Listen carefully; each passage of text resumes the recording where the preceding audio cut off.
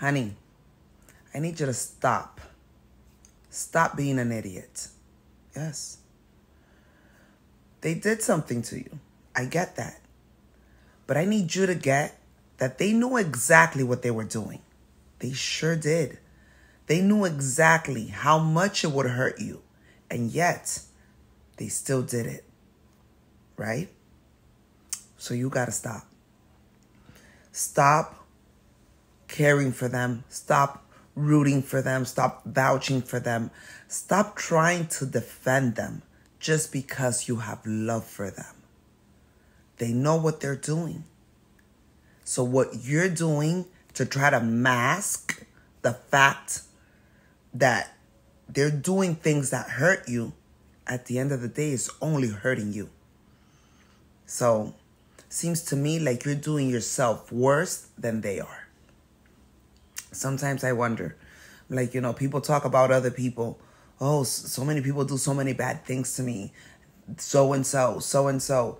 And sometimes I really think about it and, and I'm like, you know, the real question is are they really the ones hurting you that bad?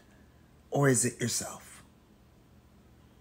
We, we, like us, like you, are your own worst enemy. Our worst enemies is ourselves. Like, plain and simple. That's really all it is. Because sometimes all it takes is detachment. And yeah, it's not easy. But it's also not easy taking all this pain, all this hurt, but yet we keep doing it for years and years.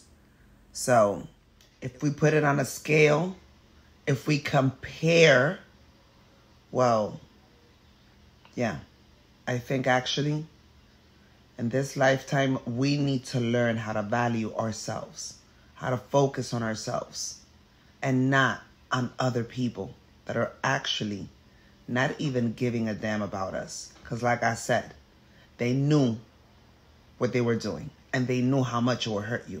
But at the end of the day, everyone is really for themselves, right? Hmm. So please stop. Did you get that? Hmm.